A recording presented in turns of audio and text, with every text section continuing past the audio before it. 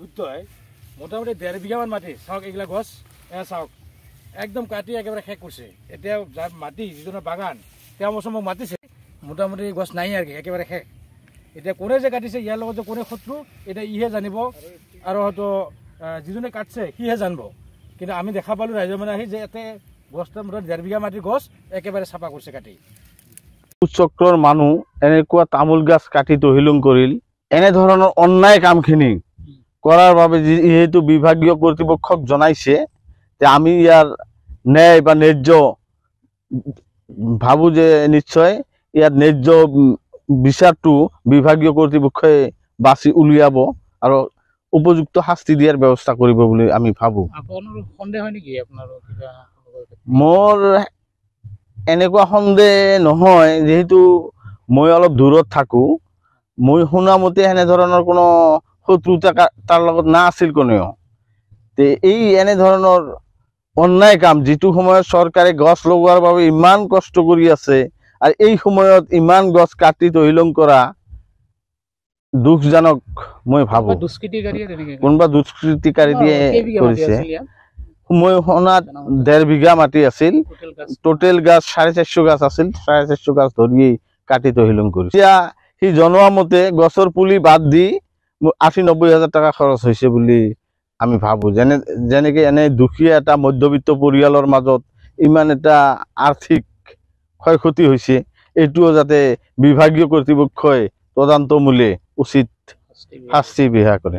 কোচধোৱা চেঁচা পানী খেৰৰ পৰা। ৰাতিপুৱা মোৰ ল'ৰাটো মোৰ ডেৰ বিঘা মাটি আছে মোৰ পাছতে আহি পিনা চাই মোৰ পূৰা বাগান বাৰীটো তামোল বাছবিলাক চব কাটিছে। কোনে কাটিলে সেইটো মই নাজানো।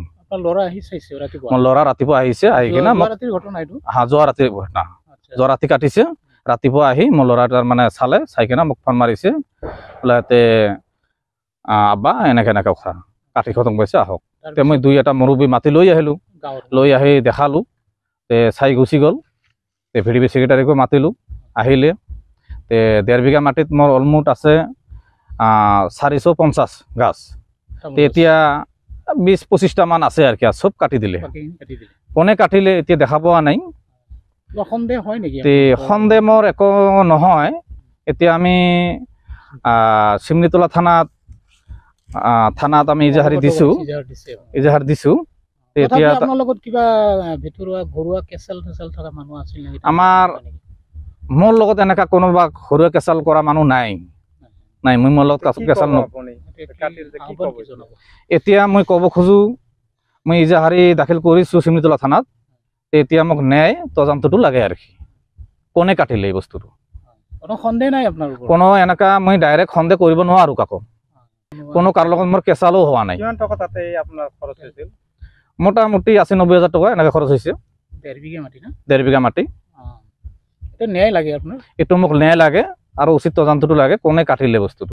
যিকোনো খবৰৰ বাবে যোগাযোগ কৰক seven zero' double nine zero' one seven double three zero' অথবা seven zero' double nine zero' one seven double nine zero' নম্বৰত।